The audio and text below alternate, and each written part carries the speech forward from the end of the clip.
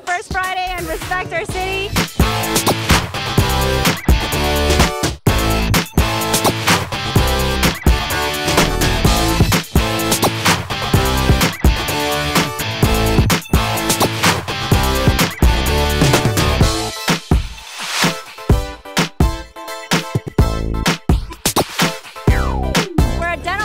19th and Webster, straight down the street. We're trying to get some artwork for our dental office. So the theme this time around is what did the tooth fairy bring you?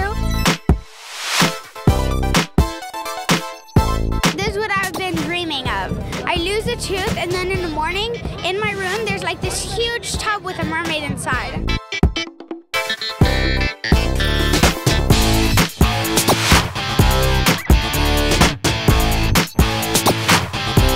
I drew a bike. So I wish Fairy would give me a new bike. I drew some special plants for my garden.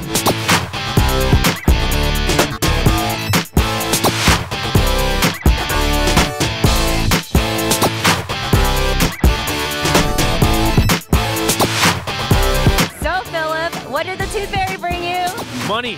dollar sign because that is what the tooth fairy always brought to me. I drew that pound coin there from the UK. I'm paying money because that's what you always got from the Tooth Fairy. Five bucks.